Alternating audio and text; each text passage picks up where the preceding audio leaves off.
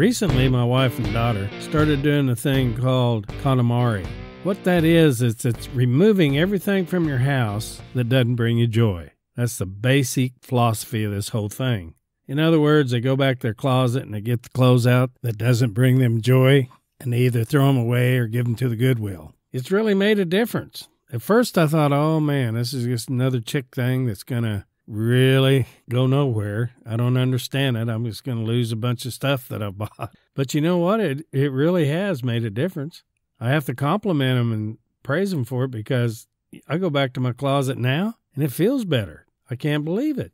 Of course, they start with the clothes and you just notice a real dramatic difference when everything that's gone and then they went in the bathroom, got rid of all the old hair brushes that they haven't used and doesn't bring them joy and went to the kitchen, got rid of all the kitchen stuff that doesn't bring them joy. And that's the only criteria that they use. They ask themselves when they look at an object, does this object bring me joy or not? And if it doesn't, they get rid of it. And of course, I never realized that that would improve anything. I mean, there's not so many negative feelings when I go back and look in my closet. I mean, I used to have everything in there was old and either it didn't fit or it was it was just old and worn out and it was mixed up with all my new stuff that did fit. So when I go back there now, I don't see any of the old and, and stuff that don't fit. I just see the kind of the new and the stuff that does fit. And and honestly, it gives me a better feeling. But it was from this experience that it made me think about my life.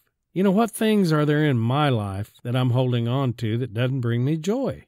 I know a lot of you is probably thinking, uh oh, here's another podcast on how to be happy and find happiness. I mean, there's been so many of those and so much of that stuff going on. And everybody says if you follow this program, you'll find happiness or take this medicine or go to this workshop or read this book. I mean, they all have claims of happiness. This preacher says if you give me 10% of your income, you'll be happy and prosperous and free. And all these things is really not lived up to what they claim they would. If they would, and if they had, then everybody would be doing it. But there's no spot, there's no place, there's no program that can provide you with complete happiness all the time. I mean, we can't live our life like we did when we were shooting dope and drinking. You know, you just want to be high all the time. Life isn't like that. But if we can make it a little bit better, I mean, add a little, one, two, ten percent more happiness or joy to our life, shouldn't we do it? Especially if the stuff's in our life that is not bringing us joy is removed. I mean, what's the cost of that? Shouldn't we try to do that? It might improve our life somewhat, but we'll not reach that euphoric state of nirvana. But let's just do a little better if we can. So when I looked at my life, I started asking myself, what are the things in my life that does not bring me joy that I continue to hold on to? Well, I divided my life into two parts, external and internal. In other words, I wanted to look at all the external things like my house or my clothes or, you know, my job, relationships or even external. Animals that I have, of course, they all bring me joy. So, but anyway, all the external things in my life, my television, Facebook, telephone, things like that. Does that bring me joy?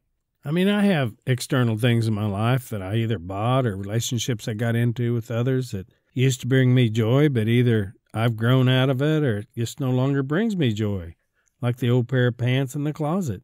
I mean, I'm, uh, we don't stay stagnant. We're all in constant growth. So I had to look at some of the things that I brought into my life that at that time did bring me joy, but is no longer bringing me joy and maybe even bringing me some unhappiness. And when I looked at that, I realized that some of this stuff was just nothing more than an old habit and that it hadn't brought me joy in a long, long time.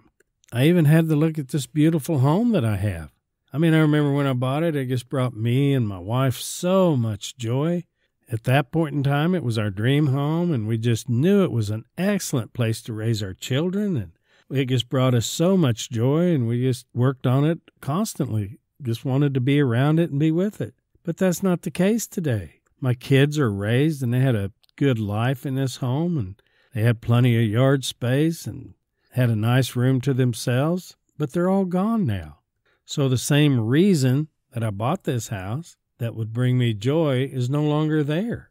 Now it's just a bunch of empty rooms and massive space and a big yard. And I look at the house and I love it, but it doesn't bring me joy. As a matter of fact, when I look at it, I kind of feel dread of all the stuff I have to do or hired out to do. And look at that crazy lawn I got to mow. It takes three hours. I also looked at my television. I thought, man, I used to love to sit there and watch a lot of shows, documentaries and stuff. I love learning and but you know, I don't have the same feeling about that anymore. I'm tired of just sitting there watching that thing over and over again. There's a few shows that might bring me some joy, but overall, you know, the TV brings me less joy than it ever has. I'm on the minus side of joy, so to speak. And I even looked at some of the relationships that I've had for years and just hanging in there, I guess because we knew each other for so long, friends and stuff. But these friends are, some of them have gotten kind of mean or they took a different path. And when you're with them, they just have negative vibes and you just kind of want to get away from them as soon as you can. They don't bring me joy. And I don't bring them joy. I can tell that. We just hold on because I think we're supposed to. So I had to look at my relationships and ask myself that very question that my wife and daughter asked themselves Does this relationship bring me joy? Now, we don't want to get too far off track on this and become so selfish and self centered that we won't help anybody. That's not what we're talking about. It brings me joy to help people. I can go down to a Teshwin and there's a lot of negativity sometimes there. A lot of guys are griping and moaning and jumping on me, but I get more joy out of helping them than I, than the price I have to pay than the negative. So yeah, it brings me joy. You know, if there's 51% joy that that neg- negative relationship brings me and 49% negative, well, it's okay because I'm supposed to be doing that. It brings me joy to do what I was meant to do. So the joy of those kind of relationships are supposed to be held on to and, and nurtured. Well, how about the internal things that in my life?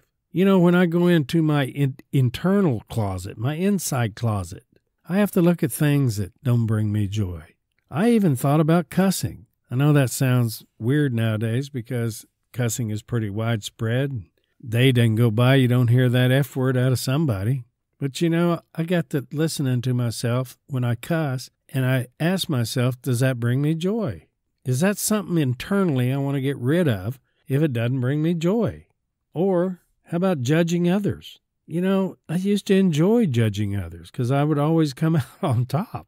But you know, it doesn't bring me joy anymore. I feel bad when I judge others. I don't mean I don't judge their behavior or some child molester. It's not like that. But judging others, I have no right to do that. I always end up saying, Who in the hell do I think I am? Well, judging others doesn't bring me any joy. I like to get that out of my internal closet. And then I went into my fears. How I wake up in the morning and they're all sitting there staring at me. The older I get, I worry about my health and, you know, finances and everything like this. Fears come at you. These are internal fears that I have. They don't bring me joy. Why am I hanging around them? And then the anger and resentments that I might have. I must admit that there's been considerable improvement in that area. I don't hold on to resentments like I used to. I hate them, man. I hate feeling them. They do not bring me joy. They used to years and years ago. To sit there and hate someone and fantasize about how they could get hurt or get paid back for what they did to me that no longer brings me joy. That's evil joy anyway, but it doesn't bring me joy. But there's some I need to look at and see if I can just get the rest of them out by their roots. And then I went in there in my internal closet and looked at the guilt. I had to look at the hurt and pain that I might have brought into the world. You know, when you have guilt, it's just a regurgitation of these demonic negative feelings that go over and over and over again. You just hate it. But you know, you think about something you did to this person, or you stole this, or you said this, or you did this, and that guilt just stays there and eats on you and eats on you and eats on you. Now, guilt itself is not a bad thing. It should lead us to want to get rid of it, you know, make amends and get forgiven and things like that. But when you hold on to it, it's like them old pants again. It's in my closet. I need to get that out of there because it does not bring me joy. The big book even says how we squander the hours and we do. We squander hours over and over going through that internal closet with all that anger and fear and guilt and all the other stuff that goes with it that does not bring you any joy. As a matter of fact, when you're in that state of mind, in other words, when you're feeling that guilt or feeling that resentment or experiencing or feeling that fear, it takes away what joy you do have in life.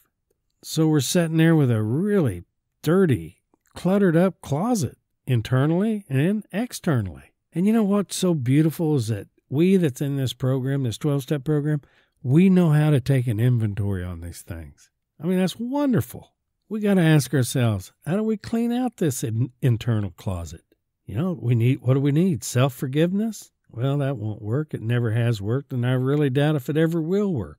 I've only been able to forgive myself to the exact degree that God has forgiven me. I know for years I tried that self forgiveness that people and preachers and psychologists would tell me to do, but I never felt forgiven until I was forgiven by God. And you know what? This is the honest truth. I have forgiven myself as much as God has forgiven me. I no longer have that self condemnation that I used to have.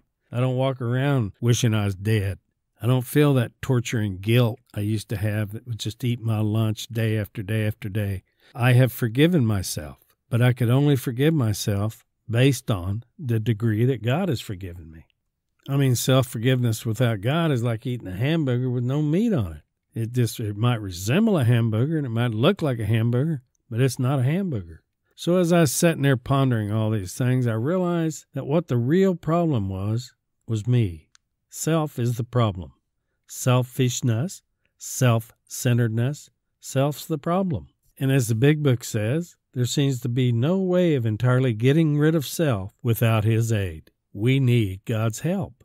Of course, we can clean up some of these external things that's not bringing us joy, but when it comes to those internal things, we're probably going to need God's help on that. And that means that we're going to have to take God into this dirty, embarrassing closet and show him all the damaged stuff that we have. But before we do that, we have to do an inventory of these things that's in that closet that no longer bring us joy. And yes, that leads us to the fourth step or the tenth step for you old timers. So, you know, why don't we take a moment to look at all the resentments and ask, do they still bring me joy to resent this person or this thing or this organization? How about fear? Do I still feel that I need fear to motivate me or to make me cautious or to make me feel more secure? Because we fear something enough, we won't do it or we won't act on it. And we use fear in that way, I guess, that brings us some type of benefit. But are we now really ready to let go of this fear? Because we know it doesn't bring us what we intended it to do. And how about this guilt, this self condemnation that you think in some weird, twisted way that we can make ourselves pay enough for what we've done? That we can sit there and use guilt to make us pay until we feel the debt has been paid. But of course, that never happens. The debt is never paid because it can't be paid by guilt. And isn't this undeserving and self condemnation type of attitude that you torture yourself with isn't it just another way of you playing God and make yourself pay enough until you feel that you've paid for your sins, so to speak? Are we ready to take a look at those things that is causing us guilt and want to get rid of them, want to get them out of our closet? After we get those things written down, we need to go to someone and do what we call a fifth step and admit to God, to yourself, and another human being the exact natures of all this stuff. For those of you who don't have a sponsor or not in the program, of course, you can go to your preacher or priest. It works the same. I mean, these principles are not just exclusively for the alcoholic and addict, but once you've done that inventory, then you went and read it off to someone, you got to ask yourself, am I entirely ready to let God remove this stuff out of my life? Am I really ready to let go of them old jeans that I've had for years, or those old shoes that I thought was so comfortable, but do they really bring me joy? Am I really willing to put them in the trash? In other words, are you really willing to let go and let God take that stuff out of your life? And then what you do is you ask God to remove those things. Remove all those things that doesn't bring you joy. The guilt, the fears, the hurts, the angers, all that stuff. The resentments. So humbly asking him to do so. I think where a lot of us fail to understand is that sometimes joy and happiness doesn't come by bringing things into our life, but sometimes it comes by getting things out of our life. An example would be like if I ask you what darkness was, the right answer would be the absence of light. And if I ask you what light was, the right answer, of course, would be the absence of darkness. Or if I told you what is death, and you'd say, Bill, it's the absence of life. And what is life? Of course, the absence of death. And so you see, sometimes happiness, sometimes joy is the absence of what's making you unhappy. And that are these things that are internally inside of us. And the removal of those things will bring more joy and happiness into our life. I know that life is full of pain and disappointment and rejection. I know I've had plenty of it in my own life. What I'm saying is, life is tough enough and painful enough on its own. So if you ever have the opportunity to get rid of some of the things that's stealing your joy, take it, embrace it, get rid of those things, and thank God for it.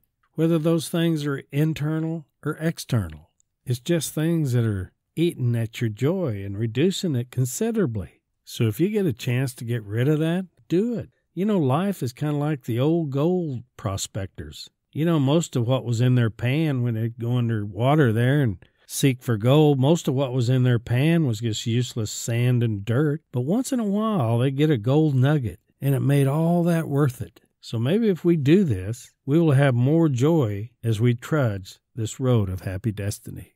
May God bless you and keep you until we meet again. I'd like to thank you for listening to these podcasts. And if you enjoyed them and you think they're worthwhile, share them with your friends. And if you haven't subscribed yet, would you go to the recoveryeffect.com and sign up and subscribe? And that way you'll get one every time I put one out. Again, I want to thank you for listening and let's keep this thing going.